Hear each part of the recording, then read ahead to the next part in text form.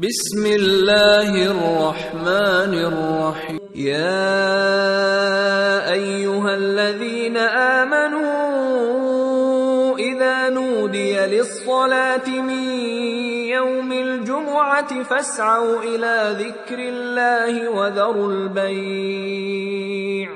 ذلكم خير لكم إن كنتم تعلمون.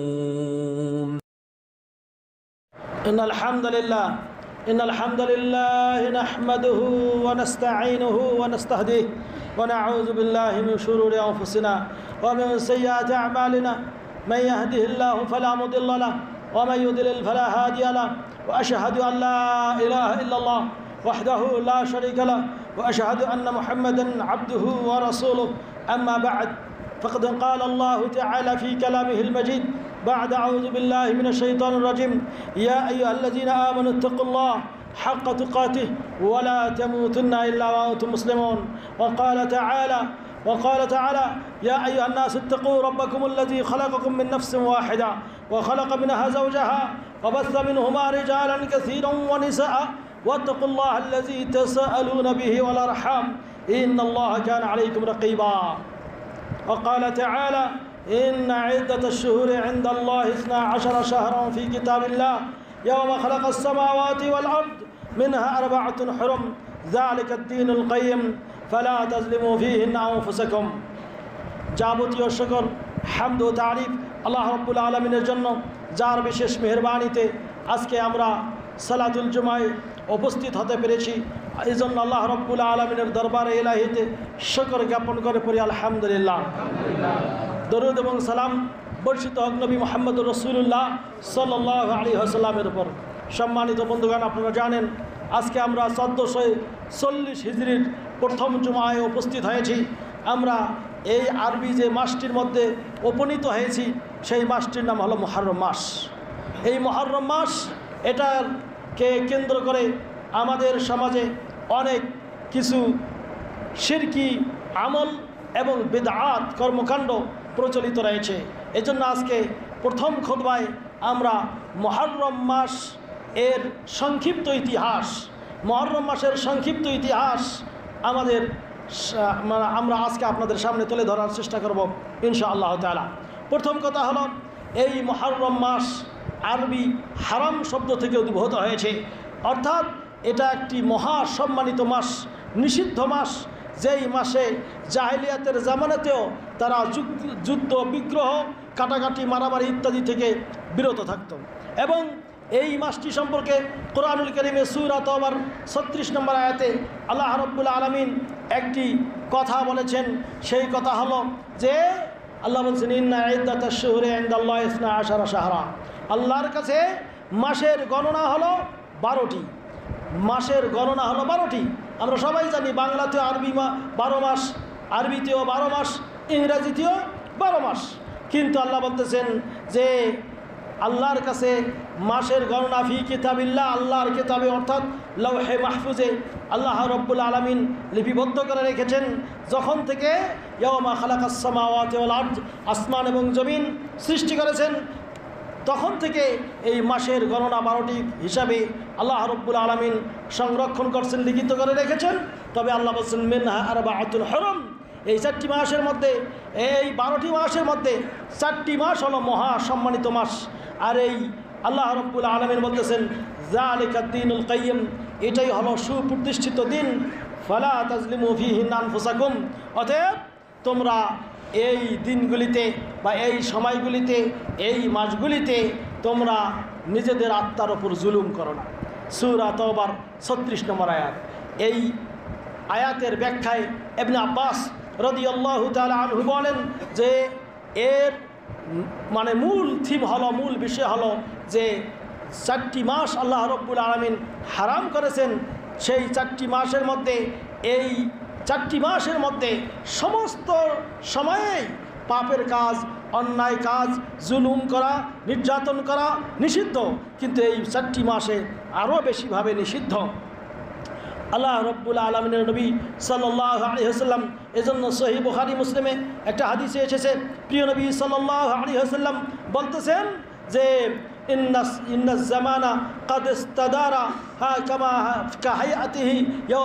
আল্লাহ নবী বলতেছেন যে, সময়ের আবর্তন পরিবর্তন এমন হয়, আসে যায়। কিন্তু আল্লাহ রব্বুল আলমিন যখন থেকে আসমান জমিন সৃষ্টি করেছেন, তখন থেকে তিনি আল্লাহ রব্বুল আলমিন মাস তৈরি করেছেন। এই মাসের মধ্যে চারটি মাস মহাসম্মানিত। এই চারটি মাস সম্মানিত মাস কি কি? আল্লাহ নবী বলতেছেন যে জুল কাদা জুল হেজ্জা মহরম ওয়া শাহর রজব হ্যাঁ ওয়া মোদার আল্লাজি আল্লাজি বাইনা হ্যাঁ জমাদা ওয়া শাহবান অর্থাৎ আল্লাহ নবী সাল্লাম বলতেছেন, তিনটি মাস সালাসুমতাওয়ালিয়াত তিনটি হলো পারস্পরিক। একটা হলো জিলকত জিল হাজ মহরম আরেকটি হলো দুইটি মাসের মাঝখানে, যেটা হলো রজব মাস। এই চারটি মাস হলো মহা সম্মানিত মাস। সকল মাসেই পাপের কাজ করা নিষেধ, কিন্তু এই চারটি মাসে বেশি করে সাবধানতা অবলম্বন করতে হয়। সম্মানিত বন্ধুগণ, আরবি হোক, আর ইংরেজি হোক, আর বাংলা হোক, যে কোনো বছরের প্রথমে নববর্ষ পালন করা হ্যাপি নিউ ইয়ার বা এরকম করে উইশ করা, এরকম প্রচলন করা, এইগুলি ইসলামী শরীয়তে বৈধ নয়। অথবা কেউ যদি ইসলামের নামেও এই মহরম মাসে কিছু করে, সেটাও নিষিদ্ধ। তবে যেগুলি কাজ করা জায়েজ, সেটা আপনাকে আমাকে করতে হবে। সেটা কি? এই মাসগুলিতে বেশি করে রোজা থাকা। দ্বিতীয় খোদ্ায় বলব। তবে মহরম মাস এর মাসের বিরাট ইতিহাস রয়েছে। আল্লাহ রব্বুল আলমের পক্ষ থেকে যত এই মহরম মাস এসেছিল, এই মহরম মাসগুলিতে অনেক বছরে বিভিন্ন সময়ে অনেক ইসলামের ইতিহাসে অনেক সহ্য এবং বীর্য অনেক ইসলামের ইতিহাসে মানে এই অনেক ঘটনা ঘটেছে। তার মধ্যে একটি ঘটনা আমরা বিদায় হ্যাঁ হৃদয় বিদরক ঘটনা বলতে পারি এবং মুসলমানদের জন্য এটা এই মাসকে কেন্দ্র করে, এই মাসকে কেন্দ্র করে অনেকে মনে করেন যে কলুষিত মাস। আসলে তা নয়, বরং মুসলমানদের বিজয়ের মাস হলো এই মহরম মাস বলেন সুবাহ কীরকম করে? হজরতে মুসা আলহি সালাতাম তিনি মুক্তি পেয়েছিলেন এই দিন। এই দিনে যেদিন এই মহরম মাসের দশ তারিখ বলা হয়। মহরম মাসের দশ তারিখকে আরবিতে আশুরা বলে। তো এই মহরম মাসের দশ তারিখকে এই আশুরার দিয়ে আল্লাহ রব্বুল আলমিনের একজন নবী ছিলেন হজরতে মুসা আলহিসাল্লাম তিনি ফ্রাউনের কবল থেকে মুক্তি পেয়েছিলেন। আর যখন কাফেরের কাছ থেকে কোনো নবীর বিজয় হয়, ইসলামের বিজয়। এটা হলো মুসলমানদের বিজয়ের মাস। মুসলমানদের সহ্য বীর্যের মাস, মুসলমানদের কৃষ্টি কালচার তাহাজিব তামুদ্দনের মাস। কিন্তু পরবর্তীতে শিয়ারা এই মাসটাকে কেন্দ্র করে কত প্রকার যে মানে কার্যকলাপ তারা সমাজে চালু করে তার কোনো ইয়াত্তা নাই। সম্মানিত বন্ধুগণ, মুসা আলি ইসলামের সংক্ষিপ্ত ঘটনা আমি বলি যে, মুসা আলহ সাল্লাম আল্লাহর নির্দেশেই তিনি মিশর সেরে অন্যত্র যাচ্ছিলেন, কিন্তু রাস্তা ভুল করে রোহিত লোহিত সাগরের পারে উপকূলে উপস্থিত হলেন। সামনে সাগর হ্যাঁ পেছনে ফেরাউনের দলবল আসতেছে, ডানে বামে যাওয়ার কোনো রাস্তা নেই। এমনই সময় মুসা আল ইসলামের সঙ্গীরা বললেন, হে মুসা, আমরা তো ধরা পড়ে যাচ্ছি। আমাদের উপায় কি? তিনি অভয় দিয়ে বলেছিলেন, ভয় করো না, আমার সঙ্গে আল্লাহ রব্বুল আলমিন রয়েছেন। তিনি আমাকে আপনাকে পথ দেখাবেন। আল্লাহ রব্বুল আলমিনের পক্ষ থেকে আদেশ হলো, হে মুসা, তুমি সমুদ্রের পানিতে আঘাত করো। যখন আঘাত করেছে, বারোটা রাস্তা তৈরি হয়ে গেছে, বলেন সুবাহ সমুদ্রের মধ্যে রাস্তা হয়েছে বারোটি রাস্তা। মুসা আলাইসালাম তার সদল বল নিয়ে ওই রাস্তা পেরিয়ে যখন অপর প্রান্তে পৌঁছে গেছেন ফ্রাউন এবং তার দলবল নিয়ে, সে এখানে এসে দেখে, হাই হাই, সর্বনাশ। সমুদ্রের মধ্যে রাস্তা। এ মুসা তো বড় জাদুগির। এই চলো এই রাস্তা দিয়ে আমরা যাই। যখন এই মাছ পথে গেছেন, আল্লাহ রব্বুল আলমিনের অলঙ্ঘনীয় বাণী, ওই পানির প্রতি হলো হে পানি, আর পৃথক হয়ে থাকো না। সাথে সাথে আল্লাহ রব্বুল আলমিন তাদেরকে ডুবিয়ে দিলেন এবং এই মুহূর্তে সবাই তারা ডুবে মারা গেল। আর ওই ফিরাউন যে দাবি করেছিল, আনা রব্বুকুমুল আলা আমি তোমাদের সবচেয়ে বড় প্রভু। সেই ফ্রাউনও পানি খায়, চুবানি খায়, আর মৃত্যু এই সময় সে বলে উঠল, আমি মুসা হারুন, তার রবের ওপর বানি ইসরায়েলরা যে রবের ওপর ইমান নিয়ে এসেছে, আমিও ওই আল্লাহর ওপর ইমান নিয়ে আসলাম। আল্লাহ বলেন আল্লাহ এখন ইমান নিয়ে আসলে খুব সংক্ষেপে বলছি, সেই দিন মুসা আলহ সালাতাম এই যে মুক্তি পেলেন আর ওই ফ্রাউন ডুবতে লাগল, সে তখন এই মুহূর্তে ইমান আনলো, সেই ইমানে কোনো কাজ আসলো না। তবে আল্লাহ রব্বুল আলমিন ওয়াদা করলেন, আল্লাহ বললেন "ফাল-ইয়াওমা নুনাজ্জিকা বিবাদানিকা লিতাকুনা লিমান খালফাকা আয়াহ সূরা ইউনুস বিরানব্বই নম্বর আয়াত আল্লাহ বলতেছেন ফালিয়াওমা নুনাজ্জিকা বিবাদানিক। আমি আজকে তোমার দেহটাকে আমি কি বাঁচিয়ে দেব? যাতে করে তোমার পর- পর- পরবর্তী জমানার লোকেরা তোমাকে দেখে হ্যাঁ তোমার এই কথা স্মরণ করে তারা এব্রত হাসিল করতে পারে জ্ঞানার্জন করতে পারে। তাদের জন্য একটা শিক্ষামূলক আমি তোমাকে করে দিলাম। পরবর্তীতে এই ফ্রাউন তার লাশ অনেক দিন যাবত এই পৃথিবীতে ছিল। তা এই ফ্রাউনের অনেক সমা ইতিহাস রয়েছে। এই ফ্রাউনদের লাশ মিশরের পিরামিডে হ্যাঁ রক্ষিত রয়েছে। এখন আসল যেই ফ্রাউনের লাশ কোনটি সেটা শনাক্ত করা মুশকিল, তারপরেও বেশি থিসিসে যেটা পাওয়া যায় এবং মিশরের পিরামিডে যেটা রয়েছে, বিভিন্ন সময় অনেকে অনেকে ফেসবুকে দেখেও থাকতে পারেন যে এই ফ্রাউনের লম্বা দেহ বিশিষ্ট লাশের আকৃতি, প্রকৃতি। সম্মানিত বন্ধুগণ, তো যাই হোক, মূল কথা হলো, ফ্রাউন সেদিন ডোবে মরেছিল। কাফেরের দল ডোবে মেরেছিল। বেঁচে গিয়েছিল কে? মুসলমান। মুসা আলহ সালাতাম আল্লাহ নবী সাল্লাম যখন মক্কা থেকে মদিনায় হিজরত করলেন, মদিনায় এসে দেখলেন ওয়াজাদ আল ইহুদ ইয়াউমা আশুরা। এসে দেখেন, ইহুদিরা আশুরার দিনে রোজা রাখে। মুসা আলহ সাল্লাতামের হ্যাঁ অনুসারীরা যারা, বিশেষ করে ইহুদি খ্রিস্টান তারা, আল্লাহ নবী জিজ্ঞেস করলেন, কেন তোমরা এই দিনে রোজা রাখো? তারা বলল যে, এই দিন ফ্রাউন এর কবল থেকে মুসা নবী মুক্তি পেয়েছিলেন এই জন্য মুসা আলাহ ইসলাম আল্লাহর শকর করণার্থে রোজা ছিলেন, আমরাও এজন্য রোজা থাকি। আল্লাহ নবী বললেন, নাহনু আউলা বে মুসা মিনকুম। তোমাদের সে মুসা আলহ সালাতামের সুন্নত পালনের ব্যাপারে আমরা বেশি অগ্রগণ্য, আমরা বেশি অধিকারীরা অধিকার রাখি। সেই মুসলিমে যে হাদিস রয়েছে আল্লাহ নবী সাল্লাম সেই রোজা রেখেছিলেন। এবং ওই রোজা রাখার নির্দেশ করেছেন। আমরা দ্বিতীয় খোদ্ায় রোজা সম্পর্কে বলব।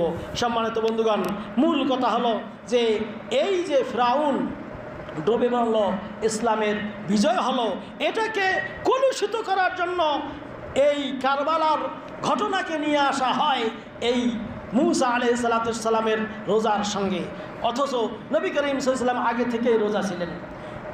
মোহরম মাসের দশ তারিখে